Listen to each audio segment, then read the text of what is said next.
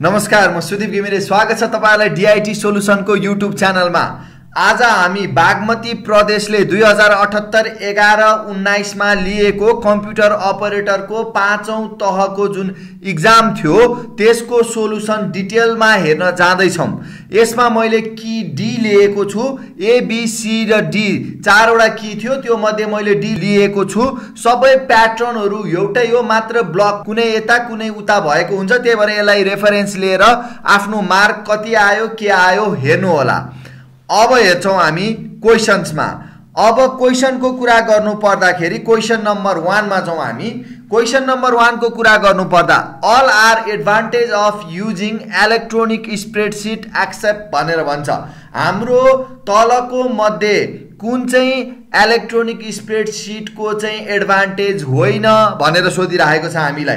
अब is of use पनि हो अटोमेटिक क्यालकुलेसन्स पनि हो यो भित्र वाट इफ अनालाइसिसको कुराहरू पनि आउँछ। तर यसमा लगहरू चाहिँ हामीले के के चेन्जेसहरू गऱ्यौँ त्यस्तो लगहरू चाहिँ बसेको हुँदैन।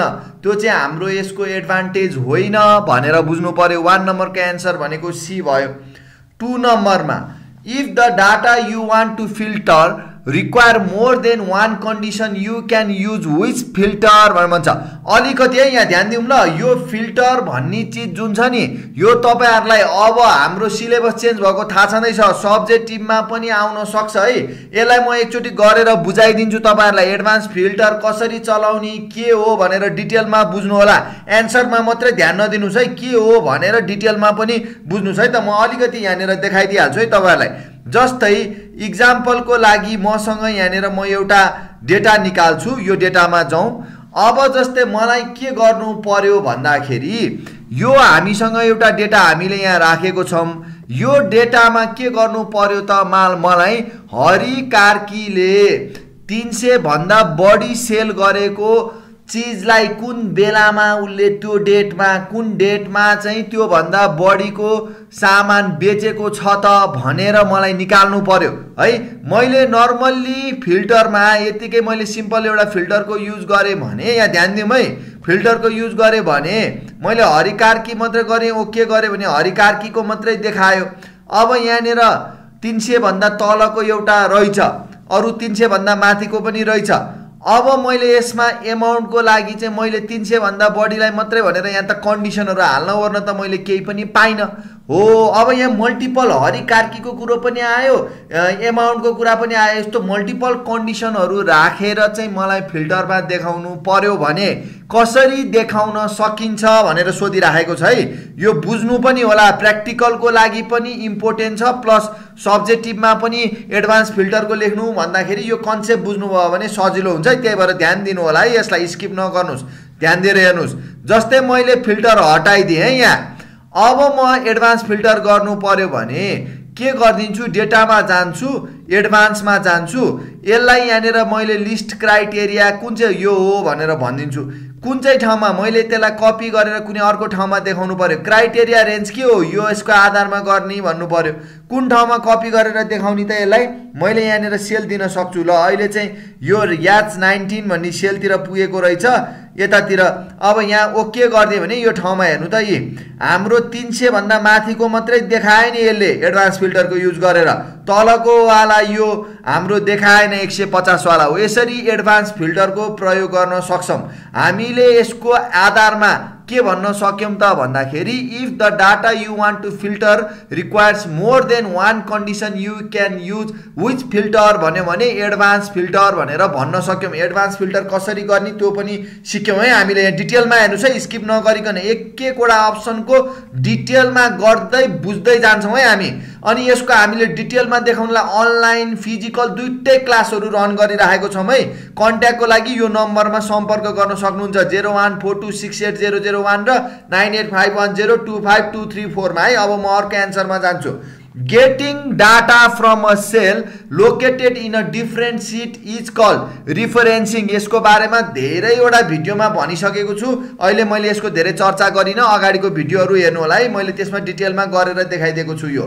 अर्को चार नम्बरमा फोर नम्बरमा function which cause retrieval of any kind of data from database is considered as भनेर भन्छ। हामीले डाटाबेसमा रिट्राइभ भनेको तान्नु पर्यो देखाउनु पर्यो भने कसरी गर्न सक्छौँ भनेर भन्छ। त्यसको लागि हामीले के को प्रयोग गर्छौँ कोइरीको यहाँ पनि यो पनि गरेर देखाइदिन्छु है। सिक्नुहोस् है सिक्नुहोस् डिटेलमा हेर्नुहोस्। यो डेटा छ अरे मानु यो डाटाबाट मलाई चाहिँ के देखाउनु पर्यो? मेलको मात्रै डेटाहरू तानेर देखाउन मन लाग्यो भने मैले के गरिदिन्छु त? कोइरीको प्रयोग गरिदिन्छु। जस्तै इक्जाम्पलको लागि मैले त्यो डेटालाई एड गर्छु। एड गरिसके पछाडि चाहिँ यहाँनिरबाट गएर मैले जेन्डरमा चाहिँ मेललाई देखाउन मन लाग्यो भन्यो भने मैले यहाँ मेल गरिदिन्छु। रन गरिदिएँ भने यसले के गर्यो? मेलको मात्रै डेटालाई चाहिँ यसरी रिट्राइभ गरेर देखाइदिन सक्यो।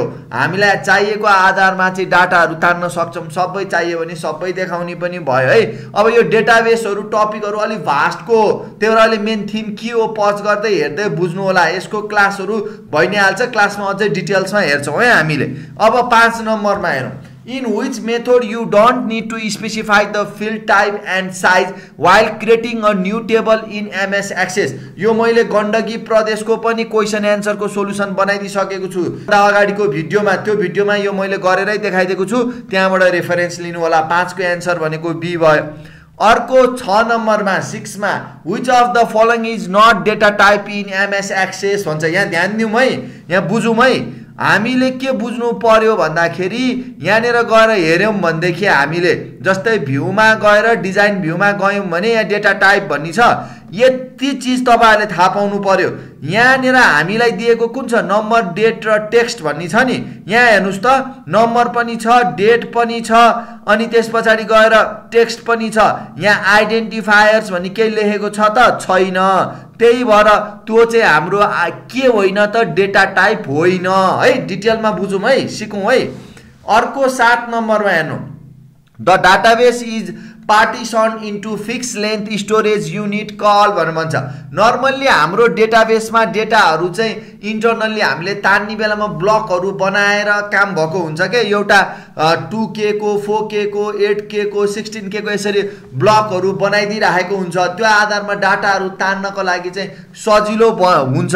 त्यही कन्सेप्टलाई यहाँनिर भन्न खोजिएको सातको एन्सर भनेको बी हुन्छ भनेर बुझ्नु पर्यो। अर्को आठ नम्बरमा एट नम्बरमा which of the following is a property of primary key भनेर भन्छ। प्राइमेरी की भन्नु नै के हो त? एउटा मेन प्रपर्टिज भनेको युनिक बनाउँछ है। यो एकदम इम्पोर्टेन्ट योभन्दा अगाडिको भिडियोमा मैले प्राइमेरी कीको बारेमा फरेन कीको बारेमा क्यान्डिडेट कीको बारेमा भनिदिएको छु। त्यो भिडियो हेर्नुभएको छैन भने हेर्नु होला। क्वेसन कलेक्सनहरू टन्नै बनिसकेको छ। सबै एक एकवटा भिडियो हेर्नुभयो भने तपाईँहरूलाई इक्जामको लागि धेरै हेल्प हुन्छ। त्यही भएर मजाले हेर्नु होला है अगाडि अर्को भिडियोहरू पनि। अर्को हेर्नुहोस् how can you create a new presentation भनेर भन्छ। नयाँ प्रेजेन्टेसन बनाउनु पर्यो भने कसरी बनाउन सकिन्छ भन्छ। डिजाइन ट्याम्प्लेटको युज गरेर पनि बनाउन सक्यो ब्ल्याङ्क प्रेजेन्टेसनको युज गरेर पनि बनाउन सक्यो पुरानो प्रेजेन्टेसनहरूको युज गरेर पनि बनाउन सक्यो। यसरी चाहिँ हामीले के गर्न सक्छौँ? प्रेजेन्टेसनहरू बनाउन सकिन्छ भनेको नाइनको एन्सर भनेको डी भयो। अर्को टेन नम्बरमा to insert a new slide in current presentation. यो पनि धेरैचोटि आइसकेको क्वेसन भयो। यो पनि सबैलाई थाहा छँदैछ। कन्ट्रोल याम भनेर यसको बारेमा पनि म धेरै गन्थनतिर लागिनँ। अर्को इलेभेन नम्बरमा which option can be use to create a new slide so with the current slide presented in a different order भनेर भन्छ। हामीलाई चाहिँ जस्तै प्रेजेन्टेसन देखाउनु पर्यो रे। प्रेजेन्टेसन देखाउने बेलामा चाहिँ डिफ्रेन्स अर्डरहरू राख्नु पर्यो। हाम्रो जुन स्टाइलले बसेको थियो त्योभन्दा भिन्दै खालको तरिकाले चाहिँ प्रेजेन्ट गर्नु पर्यो भने कसरी गर्ने भनेर भन्छ। यो पनि म गरेर देखाइदिन्छु हेर्नुहोस् है त। ल म पावर पोइन्टमा जान्छु। जस्तै हेर्नुहोस् हामीसँग एउटा यहाँनिर स्लाइड प्रेजेन्टेसन रेडी गरेको छौँ। जम्मा तिनवटा स्लाइड छ यसमा। अहिले मैले यतिकै या फाइभ गरेँ भने के आउँछ? DIT solution we are located at Bagbazar Kathmandu भनेर आयो। अब होइन मलाई पहिला आवर सर्भिसेसको बारेमा देखाउनु पर्यो अनि त्यसपछि अनलाइन ट्रेनिङको बारेमा देखाउनु पर्यो अनि त्यस पछाडि गएर लास्टमा चाहिँ यो डिआइटी सोल्युसन भनेर देखाउनु पर्यो। अर्डरहरू चेन्ज गराउनु पर्यो भने मैले के गरिदिन सक्छु त यो स्लाइड सो भन्ने अप्सनमा कस्टम स्लाइड सो भन्ने छ एउटा। यसमा गएर ध्यान दिउँ है यो यसमा गएर म एउटा नाम दिन्छु जस्तै ओन ओन भनेर नाम दिएँ। यसमा म पहिला सुरुमा आवर सर्भिस देखाउँछु। त्यस पछाडि अनलाइन ट्रेनिङ देखाउँछु त्यस पछाडि डिआइटी सोल्युसन देखाउँछु। यसको अर्डर यहाँबाट पनि चेन्ज गर्न सक्छु। यति गरेर मैले ओके गरेँ।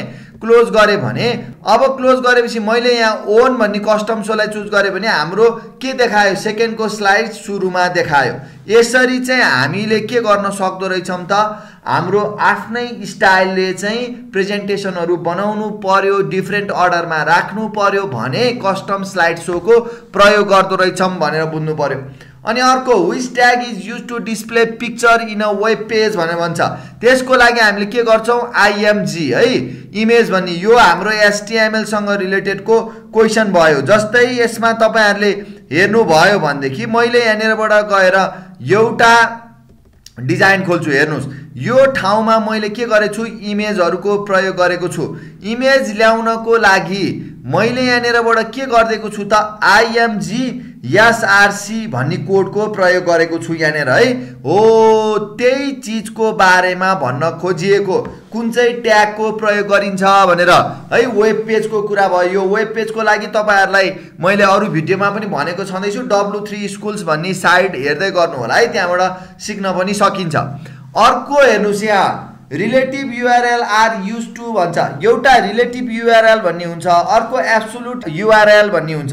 यो रिलेटिभ युआरएल भनेको चाहिँ के हो त? भन्दाखेरि हाम्रो एउटै पेजभित्र चाहिँ लिङ्कहरू गराउनु पऱ्यो एउटै साइटभित्र चाहिँ लिङ्कहरू बनाउनु पऱ्यो भने त्यस्तोलाई हामीले रिलेटिभ युआरएल्सको प्रयोग गर्छौँ भने हाम्रो पेजबाट अरू नै अन्त बाहिरको अर्को साइटतिरको रेफरेन्सहरू दिनु पऱ्यो भने त्यस्तोलाई चाहिँ हामीले के भन्छौँ? एब्सोलुट युआरएल्स भनेर भन्छौँ। यसरी हाम्रो एब्सोलुट र रिलेटिभ भन्ने दुई किसिमको युआरएलहरू हामीले भेट्न सक्छौँ। यो एब्सोल्युटको बारेमा पनि थाहा पाइराख्नु होला है सोध्न सक्छ नेक्स्ट टाइमको लागि। अर्को हाम्रो चौध नम्बरमा फोर्टिन नम्बरमा what is the tag to add hyperlink भन्छ। हाइपर लिङ्क बनाउनु पर्यो भने कुन चाहिँ ट्यागको प्रयोग गरिन्छ? ए या चार इएफ यो सजिलो कुरो भयो। अब तपाईँहरूको नयाँ सिलेबसमा सिएसएस पनि थपिएको छ है। सिएसएसलाई लिङ्क गर्नु पर्यो भने कुन चाहिँ ट्यागको कुन चाहिँ इलामेन्ट्सहरूको प्रयोग गरिन्छ भन्यो भने लिङ्क भन्ने छ है यसरी लिङ्क लेखिन्छ यो थापै राख्नु होला यो। सिएसएसहरू आएको छ। अहिले हामीले नयाँ सिलेबस अनुसारले जुन नयाँ सिलेबस निक्लेको छ त्यो अनुसारको क्लासहरू गराइरहेको छौँ। इन्ट्रेस्टेडहरूले सम्पर्क गर्न सक्नुहुन्छ है। सब्जेक्टिभ अब्जेक्टिभ जिके आइक्यू सबै सबै टोटलमा डिटेल्समा पढाइरहेको छौँ हामीले। सम्पर्क गर्न सक्नुहुन्छ है। अर्को पन्ध्र नम्बरमा फिफ्टिन नम्बरमा फिफ्टिनको कुरा गर्नु पर्दाखेरि which of the following program of Bagmati प्रदेश is conducted without any cooperative agencies भनेर भन्छ। भनेको मतलब कोहीसँग पनि सहकार्य नगरिकन चाहिँ हाम्रो बागमती प्रदेशले चाहिँ के कुरा चाहिँ गर्न सक्छ भनेर सोधिरहेको छ। यो भनेको हाम्रो पेरियोडिक प्लानसँग रिलेटेडको क्वेसन भयो। Development of office automation system in province level ministries भनेर भन्छ। यो चिज हामीले हेऱ्यौँ भनेदेखि यहाँनिरबाट गएर वान एट्टी पेज नम्बरमा तपाईँहरूले के देख्न सक्नुहुन्छ? सहकार्य गर्ने निकाय को कोसँग सहकार्य गरेर के के हुन्छ भनेर। जसमा तपाईँहरूले हेर्नुभयो भने प्रदेश स्तरका मन्त्रालयहरूमा अफिस अटोमेसन प्रणालीको विकास यो गर्नको लागि चाहिँ प्रदेश सरकार आफैले गर्न सक्छ। कुनै एजेन्सिजहरू अरूसँग चाहिँ सहकार्य गरेर बस्नु पर्दैन आफैले गर्न सक्छ भनेर चाहिँ भन्न खोजिएको हो यहाँनिर। त्यही भएर फिफ्टिनको एन्सर भनेको चाहिँ के हो त? बी हो भनेर बुझ्नु पर्यो हामीले। त्यस्तै गरी गएर अर्को सिक्सटिनमा in the first periodic plan of Bagmati अब म जान्छु क्वेसन नम्बर सिक्सटिनमा क्वेसन नम्बर सिक्सटिनको कुरा गर्नु पर्दाखेरि in the first periodic plan of Bagmati province there are dot dot number of strategic for information and technology भनेर भन्छ। यो पनि पेरियोडिक प्लानसँग रिलेटेडको क्वेसन भयो। हाम्रो यो जुन इन्फर्मेसन टेक्नोलोजी अन्तर्गतको चाहिँ के के रणनीतिहरू चाहिँ राखिएको छ भनेर सोधिएको छ हामीलाई यहाँनिर गएर हामीले हेऱ्यौँ भने रणनीतिमा इन्फर्मेसन एन्ड टेक्नोलोजीको हो नि त यहाँ माथि जानुभयो भने तपाईँहरूले के देख्न सक्नुहुन्छ त सूचना तथा सञ्चार इन्फर्मेसन एन्ड टेक्नोलोजी देख्न सक्नुहुन्छ। यो भित्र हामीले हेऱ्यौँ भने रणनीतिमा यो एउटा रणनीति भयो त्यस्तै गरी गएर यो अर्को रणनीति भयो त्यस्तै गरी गएर यो अर्को रणनीति भयो। तिनवटा रणनीति हामीले देख्न सक्छौँ। त्यही भएर सिक्सटिनको एन्सर भनेको के भयो त? ए भयो भनेर बुझ्नु पर्यो। थ्री है जम्मा तिनवटा चाहिँ स्ट्राटेजीहरू रहेछ त्यहाँनिर भनेर थाहा पाउनु पऱ्यो भिडियो कस्तो लाग्दैछ? राम्रो लाग्दैछ भने लाइक गर्नुहोस्। नयाँ हुनुहुन्छ भने सब्सक्राइब गर्नुहोस्। र कमेन्ट लेख्नुहोस् है तपाईँहरूलाई यो पछि कस्तो भिडियो चाहिन्छ? तपाईँहरूको केही क्वेरिजहरू छ भने कमेन्ट गर्न पनि सक्नुहुन्छ तपाईँहरूले है। अब म जान्छु सेभेन्टिनमा सेभेन्टिनको कुरा गर्नु पर्दा fill in the blank with an appropriate option given below भनेर भन्छ। That is the dog dot dot dot भनेर भन्छ। We have been looking after होइन? सेभेन्टिनको एन्सर भनेको ए भयो। त्यस्तै गरी गएर एट्टिनमा fill in the blank with the most suitable word from the alternative given below भनेर भन्छ। We are accountable dot dot god for our action भनेर भन्छ। यसको एन्सर भनेको के भयो त? डी भयो। एटिनको एन्सर भनेको डी भयो टू हुन्छ। हाम्रो यहाँनिर भनेर बुझ्नु पर्यो। त्यस्तै गरी गएर नाइन्टिनको कुरा गर्नु पर्दाखेरि नेपाली व्याकरण अनुसार पुरै शुद्ध लेखिएको वाक्य छान्नुहोस् भनेको छ। यसमा ए भइहाल्यो। अर्को ट्वेन्टीमा बहुमतले शासन गर्ने र अल्पमतले खबरदारी गर्ने शासकीय पद्धति नै लोकतन्त्र हो भन्ने वाक्यमा कति शब्द अशुद्ध लेखिएको छ भन्दा पनि दुई भइहाल्यो। अनि त्यस्तै गरी गएर अब ट्वेन्टी वानमा ट्वेन्टी वानको कुरा गर्नु पर्दाखेरि ध्यान दिनुहोस् है low level programming language is also known as भनेर भन्छ। लो लेभल प्रोग्रामिङ ल्याङ्ग्वेजलाई मेसिन लेभल ल्याङ्ग्वेज पनि भनिन्छ। लो लेभलमा के के पर्छ हाई लेभलमा के के पर्छ भनेर मैले अगाडिको भिडियोमा छलफल गरेको छँदैछु। अगाडिको भिडियोहरू हेर्दै गर्नु होला त्यहाँनिर धेरै कुराहरू छुट्टिन सक्छ है तपाईँहरूको। सबै डिटेलमा हेर्नु होला अर्को ट्वेन्टी टूमा जान्छौँ। यो पनि धेरैचोटि आइसकेको question transistor is related to dot dot generation of computer भन्छ सेकेन्ड जेनेरेसन भइ नै हाल्यो। है अघि नै मैले कुरा त गरिसकेँ तपाईँहरूलाई। डिटेलमा क्लास लिनु छ। अनलाइन अफलाइन सबै डिटेलमा हेर्नु पर्ने छ भनेदेखि कन्ट्याक्ट गर्न सक्नुहुन्छ। जसमा हामी जिके आइक्यू सब्जेक्टिभ अब्जेक्टिभ अहिलेको नयाँ सिलेबसमा भएर पढाइदिँदै राखेको छौँ। नयाँ क्लासहरू धमाधम भइरहेको छ। सम्पर्क गर्न सक्नुहुन्छ है तपाईँहरूले। अब म जान्छु twenty थ्रीमा। A video consist of a sequence of भन्छ यसको पनि मैले पहिला खोलेर पनि एउटा एप्लिकेसन फ्ल्यास भन्ने खोलेर फ्रेम भनेको के हो टाइम लाइन भनेको के हो भनेर देखाइदिइसकेकै छु। यसको एन्सर भनेको फ्रेम हुन्छ भनेर बुझ्नु होला ट्वेन्टी थ्रीको एन्सर भनेको फ्रेम भयो।